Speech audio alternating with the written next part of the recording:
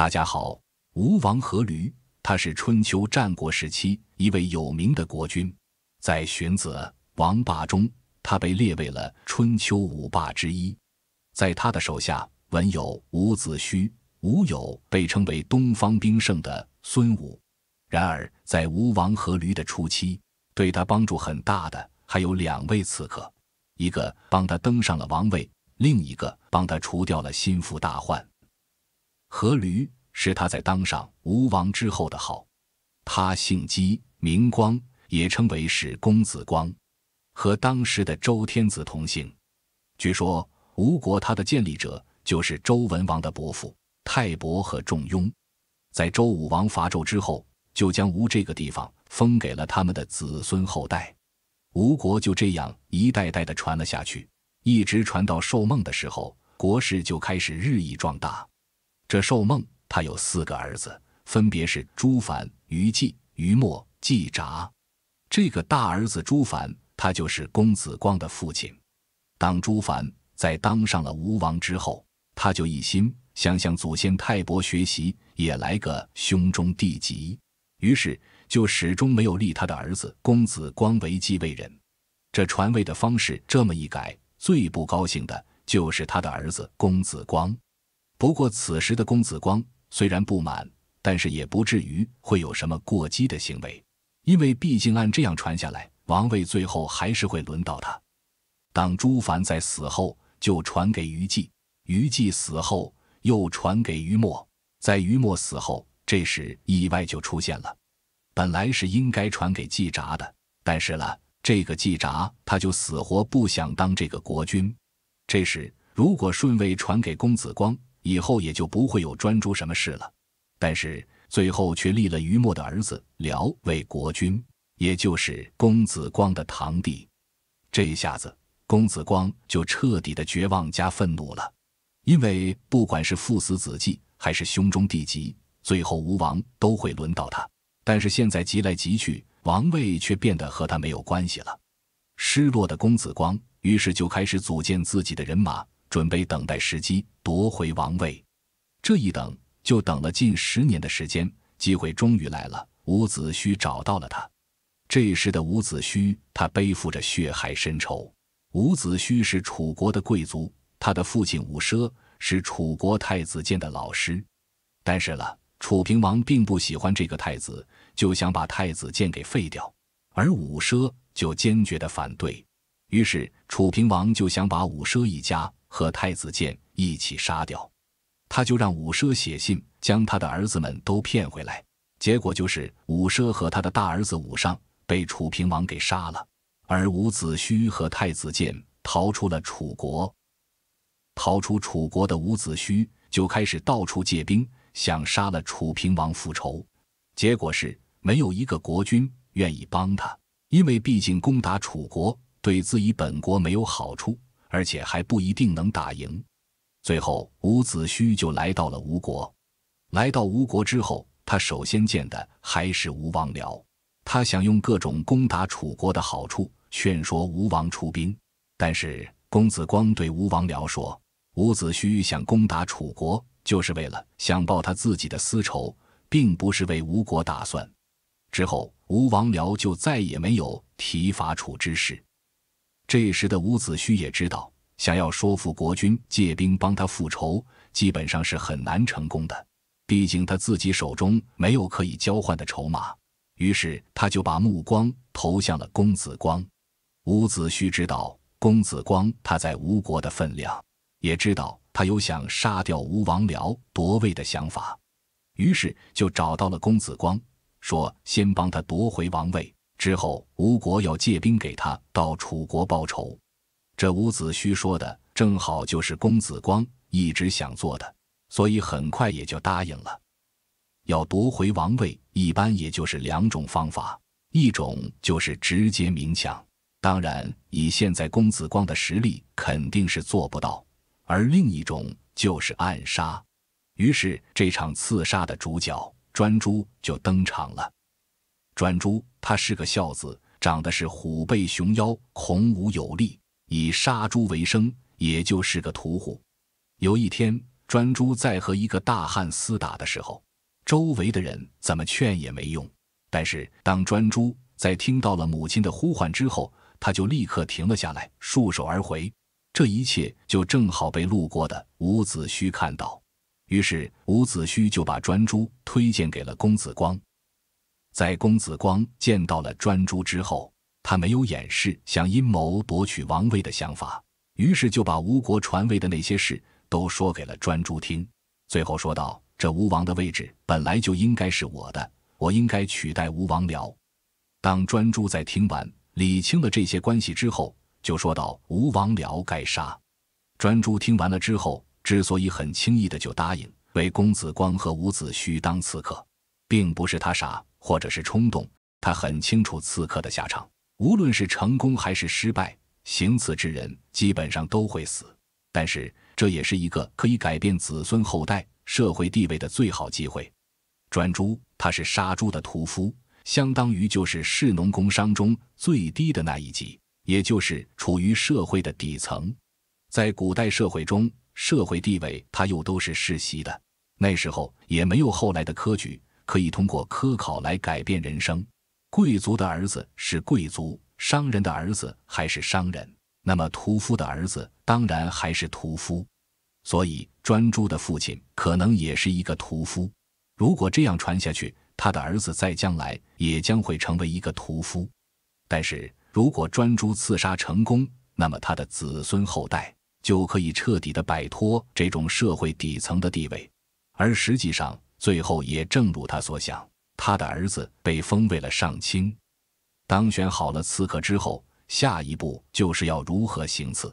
专诸从公子光那里得知，吴王僚非常喜欢智鱼，于是一个有创意的刺杀计划就出现了。为了实现刺杀吴王僚，专诸特地到太湖向当地的名厨学习做鱼的方法。几个月后，他所做出来的鱼。只要是吃过的人都会说美味无穷。当在厨艺学会了之后，现在就只剩下如何能够把兵器带进去。公子光深知吴王僚为人谨慎，更何况是他的邀请，那就肯定会更加谨慎。任何的兵器如果想藏在身上带进去，肯定是会被搜出来。于是就想出了一个办法，将剑藏入到鱼腹内。为此，公子光就专门请人打造了一把锋利的匕首，名曰鱼肠。此剑长一尺三寸，阔两寸三分，形状像鱼一样，青铜铸就，正好就可以放在专诸的鱼腹内。当在所有的一切都准备好了之后，现在就差一个可以动手的时机了。公元前五百一十六年，楚国的楚平王去世，吴王僚他就想。趁着楚国办丧事的时候，乘机占点便宜，于是就派他的两个弟弟公子盖鱼和蜀雍率领军队去包围楚国的增城，又派季札，就是那个不肯继位的四叔，到晋国去观察各个诸侯的动静。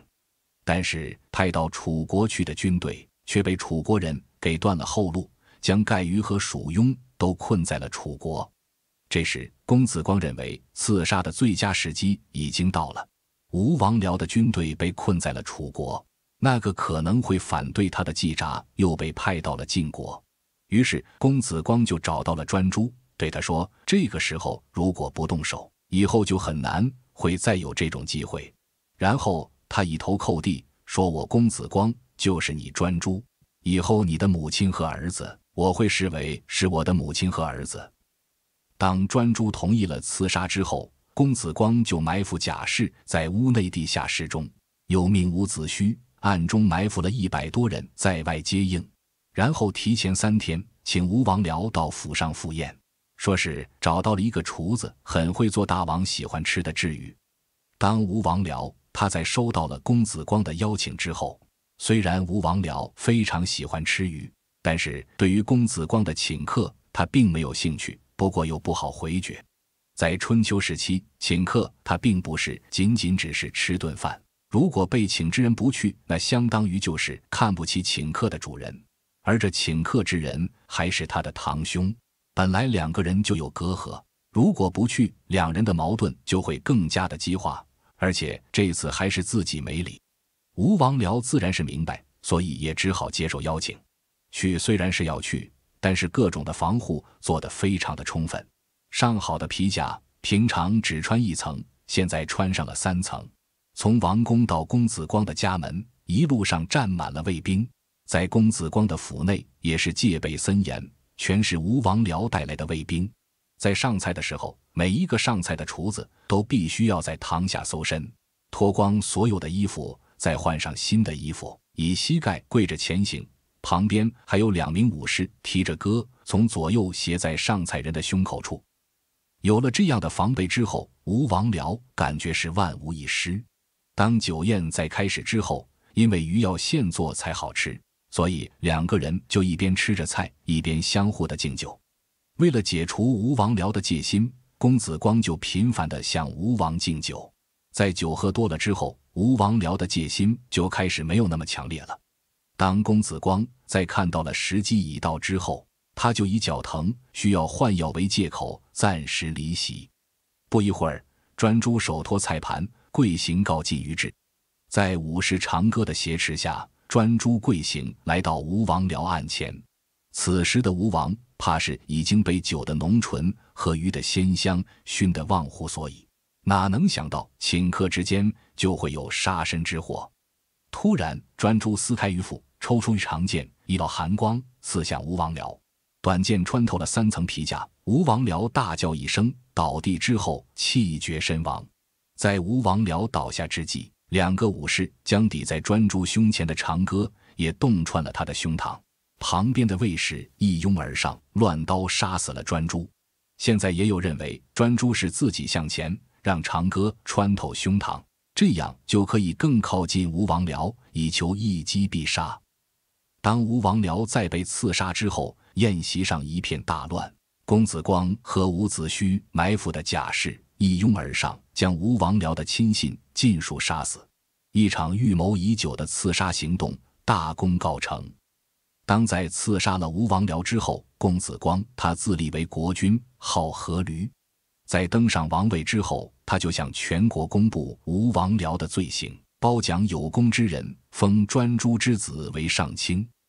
专诸的这一击。也就让从此之后宴会，他就成了一个阴谋频现的场所。然而，这位靠阴谋当上国君的公子光，虽然他反复向人们强调王位本来就应该是他的，但是公子光毕竟曾经向吴王僚称过臣，而在春秋时期谋杀国君是一件为人所不耻的事。但是好在国内还算稳定。但是在国外，还是有一些人正在密谋推翻吴王阖闾。这其中最让吴王阖闾害怕的，就是吴王僚的儿子公子庆忌。当吴王僚在被刺之时，庆忌正好不在吴国。当时的公子庆忌正在联合郑国和魏国，准备去攻打楚国。在途中得知了吴王僚被杀之后，他就逃到了爱城，在这里联合诸侯，招纳死士。等待时机为吴王僚报仇。吴王阖闾已经记不起用过多少种不同的方法来刺杀庆忌，但是庆忌号称是当时的吴国第一勇士，有万夫莫当之勇。派出去的人虽然是多，但是没有一个能回来。直到伍子胥又给阖闾找来了一个刺客要离。当这个刺客在上殿之后，吴王阖闾第一眼没看到人。仔细一看，终于看到了那个刺客。在看到了之后，吴王阖闾大笑了起来。和上次的专诸不同，这一次的刺客只是一个身高不到五尺，差不多也就是只有一米二三左右，一个面容丑陋的矮子。虽然阖闾的态度让人尴尬，但站在他面前的药离似乎早就习以为常，只是静静地站在那里。这次阖闾还真的没看上药离。转身对伍子胥说：“虽然像专诸这样的勇士很难再找到一个，但是这个要离怎么可能去刺杀庆忌呢？”这时，在下面的要离终于忍不住要说话了：“大王所忧患的庆忌，臣能杀之。”阖闾听了之后说：“那庆忌有万夫莫当之勇，是奸所未闻。”要离听了之后又重复了上面的话：“王如果有意，臣能杀之。”阖闾听了也不好回绝，就说：“你能不能杀庆忌？”令说：“你倒是说下有什么办法可以靠近庆忌？只要方法可行，我就让你去。”要离听了，平静地说出了一个办法。要离说出的办法就是让吴王阖闾杀死自己的老婆孩子，然后背负血海深仇的他，自然就可以靠近庆忌。第二天，在吴国的朝堂之上，伍子胥极力向吴王阖闾举荐要离为将，请吴王让要离带兵讨伐楚国。阖闾旧戏重演，不屑一顾地讽刺要离。站在下面的要离也开始讽刺阖闾，说他既不贤明，也不仁慈。阖闾听了之后，怒不可遏，让大殿上的武士把要离给赶出去。只见要离冷笑道：“大王不要看不起人。”我敢跟大王打赌，我虽然身材矮小，但论起击剑的功夫，大王一定在我面前走不过十个回合。说起击剑，吴王阖闾也是其中之高手。早在吴王僚的时代，那时的公子光，他的击剑在贵族圈子里就有一定的名气，在吴国能打败他的人还真不多。所以在下场之后，吴王阖闾只是想故意打几下。装个样子就败下阵去，但见那要离出手快如闪电，虽然身材矮小，但无比灵活。没几下，药离就用手中的剑刺伤吴王阖闾的手腕。也许是昨天就商量好的，吴王只是按计划去做；也许是阖闾真的生气了，一向以为自己是个高手的阖闾，居然发现自己是如此的不堪一击。他大喊一声，命武士们把药离推出去杀了。在场的其他大臣都不知道这件事的奥秘所在，但是伍子胥知道，他怕吴王真的把要离给杀了，于是他赶紧劝吴王阖闾。在伍子胥的求情下，吴王阖闾也冷静了下来，下令把要离关到牢房。似乎是余怒未消，阖闾走上前去，只见手起剑落，一剑砍断了要离的右臂。不久之后，一个更令他们吃惊的消息传了出来。药离越狱逃跑了，吴王再次震怒，他下令把药离的老婆孩子都抓起来处死，并公开焚烧，弃尸于闹市。当药离在逃出吴国之后，他在一路上就到处探听庆忌在哪里。在得知了庆忌正在魏国避难之后，药离他就来到了魏国投奔庆忌。对于从吴国来的药离，庆忌自然是不信任。然而，要离脱掉上衣给庆忌看了，果然是少了一条右臂。然后向他诉说了原委。当庆忌打听到了要离的妻子、孩子真的是被吴王阖闾所杀，此时的他想不相信都难。几个月后，公子庆忌率兵乘船伐吴，要离正好和他在同一条船上。当船行至江心，这时要离对庆忌说：“公子，你应该亲自坐在船头。”这样既可以鼓舞士气，又可以便于指挥。庆忌听从了要离的建议，亲自坐在船头，而要离则独臂握着短矛在一旁站立。大军浩浩荡荡地向前进发。忽然，在江面上刮起一阵大风，庆忌的战船被风刮得摇晃起来，庆忌也随着船体的摇晃坐立不稳。站在旁边的要离抓住了这个千载难逢的机会。借着船体的颠簸摇晃之势，以短矛刺向庆忌。这一矛直入庆忌的心窝，透出胸外。此刻的庆忌才知道了要离断臂的真正目的。不过他并没有像一般人那样立刻倒地之后气绝身亡。他忍着剧痛，单手倒提要离，把他没入水中，然后再次提起，如此的反复三次。被江水呛得连连咳嗽的要离。此刻脸色发青，但丝毫不惧，反而竭力发出一阵大笑。随后，庆忌把药离放在膝上，在庆忌周围的人开始要上前杀掉药离，庆忌却一摆手制止了上前的士兵，并摇手说：“这是天下的勇士，怎可以在一日之间杀掉两个天下的勇士？”然后又告诫左右：“勿杀药离，可纵之还吴，以惊其中。”说完，拔出了刺入心窝中的短矛，倒地身亡。见到庆忌终于死了，药离强撑的眼神顿时也暗淡下来。四周的士兵对庆忌的命令向来是奉行不渝，虽然他现已身死，但是士兵们也仍不敢违背。架在要离井上的吴钩已然挪开，所有的士兵都向庆忌的尸身气然拜倒。刺杀成功的要离终于回到了吴国。吴王阖闾还真没想到要离能够活着回来，但既然是活着回来了，官是一定要封的，金银财宝自然也少不了。既然要离的老婆孩子都没了，那就再给他几个美女。然而，当吴王阖闾和伍子胥带着黄金美人来到要离住所后，要离见到了这些赏赐。突然从卫士手中夺得佩剑，先是砍断了自己的双足，然后自刎而死。在吴王阖闾的这两大刺客中，专诸刺王僚，他是被记录在司马迁的《刺客列传》中，而要离刺庆忌却并没有被司马迁记录其中，他主要只是记载于《吴越春秋》中。